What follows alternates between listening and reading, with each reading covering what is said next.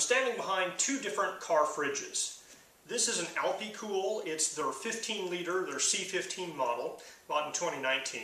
This is the VECYS. It's their 18 liter model. It's the CR18.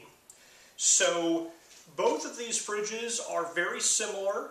The compressor is on this side over here. They have a little control panel um, and they have a lid. Now here's the major difference is the height. The width and the depth are about the same, but the height obviously is about two inches higher on this guy. Also, this guy has a latch on the lid where you can just pinch and lift with one hand. It's nice and easy to open. You can't close it without closing the latch easily. This guy lid is friction fit, so you can lift it with one hand and open it, but unless there's a lot of stuff in the cooler, it might wiggle a little bit when you do that. Um, this guy also comes off, the lid pops out, and you can purchase a 20 liter version of this, and the only difference is the lid bumps up and makes it about the same height, maybe a little bit higher even. So if you want a 20 liter comparison, um, the 20 liter version of this costs 220, whereas that guy costs 199, and this guy currently on Amazon costs 199 too. So the control panel, basically you set a temperature, it maintains the temperature. The Alpicool has a little USB plug. You can plug in something, charge it at 1 amp. Um, you know, if this guy's plugged into your car cigarette lighter and you only have one and you don't have any splitters and you need to charge something, that's kind of a nice feature. This guy doesn't have a USB charger built in. It does have a little circle to put a drink in, which seems kind of gimmicky, but I've used it. It's kind of nice to have if you need it. If you're going to put a drink somewhere, it's nice to have it in there. Um, this is a very smooth top. This top is kind of a pebbled appearance. This guy's white. It shows dirt better than this guy. It's kind of, you know, it's brown and it has kind of the gray. Um, from a visual aesthetic standpoint, I like the flat white. You know, it's almost a gloss. It's kind of a matte white. Better than this appearance. But, you know, they're both all right. They're both made out of plastic.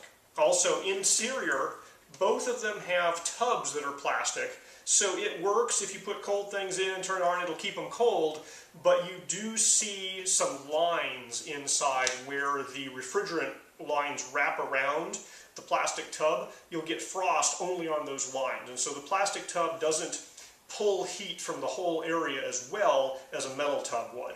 I know the Alpicool makes a 22 model that has a metal tub and a drain, but it costs 260, so you know that's the next price point up. One thing I need to mention about the control panel on this guy is that it works fine, it maintains temperature, centigrade works great. If you're in Fahrenheit mode, when the compressor turns off, the display goes wonky. Um, it keeps, the refrigeration works just fine, it's just a display bug. And VECYS customer support said, yeah, we have a problem with the conversion of the temperature conversion math, it's just affecting the display. They're going to be fixing that on, you know, in the next batch they make. But, you know, if you need absolute positively Fahrenheit temperature displaying perfectly correct all the time, this guy here does that. This guy doesn't. I mostly just use it in centigrade mode. It's fine. You could even use it in Fahrenheit mode and just ignore the temperature display when it goes wonky after the compressor turns off. But that is a difference with these two. So they have handles on them. And this guy has handles that are interior, that are stuck inside. Um, that cuts into the insulation a little bit on this side, so a little bit of heat escapes there, but it's not a big deal. I think that looks a little better than the handles on here, which stick out. Now these handles kind of, you go up and in, they actually, I think, give you a slightly better grip on the cooler than these handles, which are more flat. They're both perfectly fine for carrying the cooler around. Um, if you want the absolute best grip possible, I think these give you, you can kind of pinch on the top as well. They give you a little bit better grip. Um, but you're losing space over here because you can't put this up against a wall. It's going to lose, you know, three quarters of an inch. On the other side, it doesn't matter. You need to leave a couple of inches around all these vents to let air flow, so it doesn't matter that that handle is sticking out there. So, you know, that's personal preference for the most part.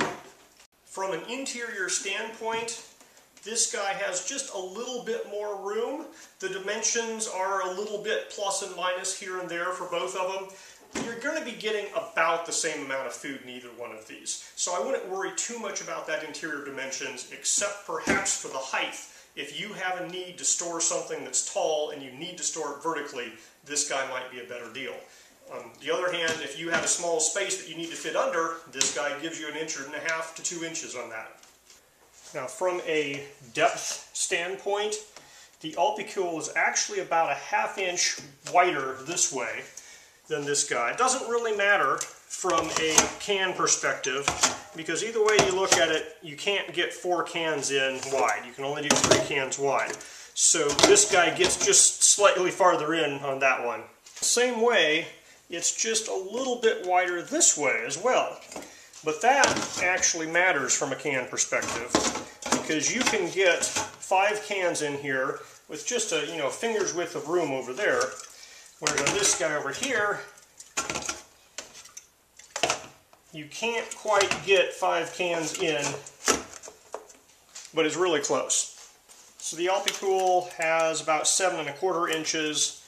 This guy here has about eight and a quarter inches. So you get an extra inch all the way across the top. Now, does the height difference matter? Maybe. I mean, there's lots of things that won't fit in this fridge that would also not quite fit in that fridge. You know, it's closer, but it's just not going to fit unless you lay them sideways. However, there are some drinks where they're just a little bit too tall for this guy, but they fit very comfortably in that guy.